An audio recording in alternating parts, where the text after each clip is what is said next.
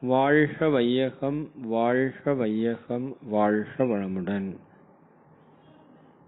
வாழ்க வளமுடன். நண்பர்களே இன்றைய தற்சோதனையாக நாம் சிந்திக்கக்கூடிய சிந்தனை இரண்டு நாட்களாக அதை சிந்தித்துக் கொண்டிருக்கிறோம். இருந்தாலும் இன்னும் நம்ம சிந்திக்க வேண்டியது இருக்கு. ஏன்னா ஒரு நபருக்கு ஒரு குறைஞ்சது ஒரு அரை மணி நேரம் நிச்சயமா தேவைப்படும். ஏன்னா அவர்களிடம் இருந்து வரக்கூடிய எந்த ஒரு சொல் அல்லது எந்த ஒரு செயல் என்னுடைய பொறுமையை இழக்கச் செய்கிறது சமாதானத்தை பாதிக்கிறது சந்தோஷத்தை அழிக்கிறதுன்னு நம்ம கண்டுபிடித்தே ஆகணும். வேற வழியே கிடையாது. சரி மகரிஷி சொல்லுவாங்க தத்துவத்தில் விஞ்ஞானத்தில் மாற்று வழி இல்லையே. சரிதானுங்களா? எதுலேயும் மாற்று வழி இல்லை. எனக்கு எது துன்பம் கொடுக்குன்னே தெரியாம நான் துன்பம் இருக்கக்கூடாது துன்பம் இருக்கக்கூடாதுன்னா எப்படி துன்பம் இல்லாம இருக்கும்? சரியானுங்களா அதாவது ஒரு லட்டு சாப்பிட்றோம். அஞ்சு லட்டு சாப்பிட்டா துன்பமா வருதுன்னு தெரியுது. அப்ப அஞ்சாவது லட்டு சாப்பிட்றப்ப துன்பமா வருதுன்னு தெரிஞ்சாதான் அஞ்சாவது லட்டை நிறுத்த முடியும் நாலாவது லட்டோட சந்தோஷத்தை நிறுத்த முடியும்.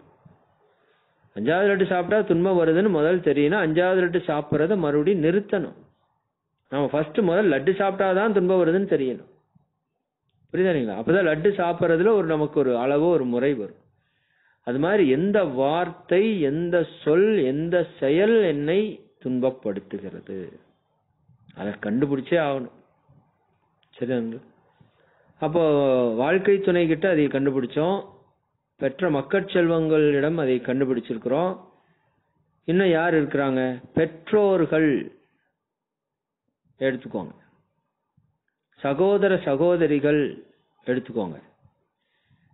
இது நான் இன்னைக்கோட இந்த சப்ஜெக்ட் நிறைவு செய்கிறேன் ஆனால் இது சப்ஜெக்ட் இன்னையோட நிறைவாகுதுனால நீங்கள் விட்டுறாதீங்க.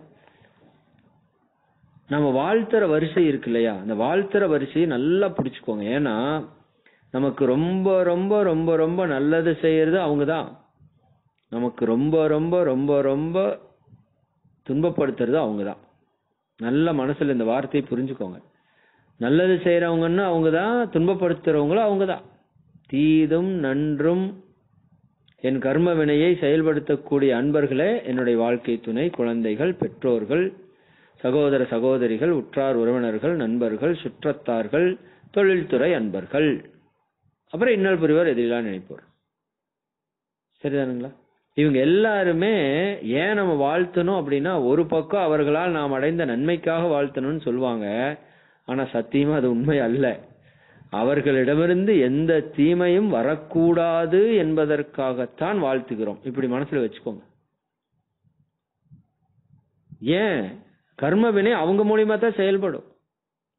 புரியுதா இல்லைங்களா? நம்ம கர்ம வினை அவங்க மூலியமா செயல்படும். அப்ப அவங்க எல்லாரையும் வாழ்த்த வேண்டும் அப்படிங்கிறது மனைவியை வாழ்த்தி ஒரு இணக்கம் வேண்டும் குழந்தையை வாழ்த்தி ஒரு இணக்கம் வேண்டும். அனைத்து இந்த வாழ்த்துற வரிசையில எதுக்கு இணக்கம் வேணும்? அவங்களாலதான் எனக்கு துன்பம் வரும்.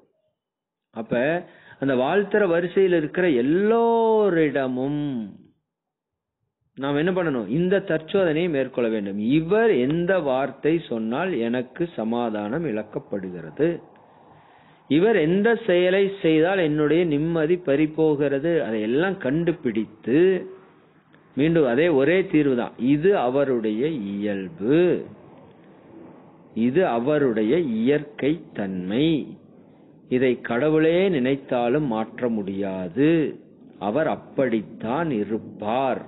அவரை மாற்றுவதற்கு நான் வரவில்லை. என்னை மாற்றிக்கொள்வதற்கு முயற்சிக்கிறேன். அதுவும் உடனடியாக முடியும் என்று நான் நினைக்கவில்லை. நான் முயற்சி செய்து கொண்டே இருக்கின்றேன். ஒரு நாள் நிச்சயமாக முடியும் என்று நம்புகின்றேன்.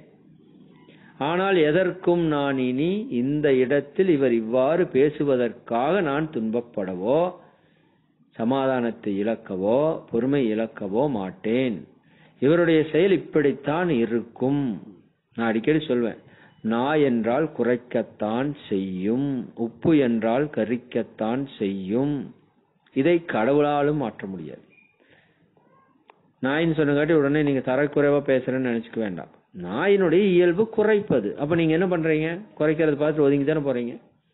அப்படி ஒவ்வொருத்தருடைய இயல்பையும் பார்த்து ஏற்றுக்கொண்டு ஒதுங்கி செல்லுங்கள். அதுதான் ஞானம்.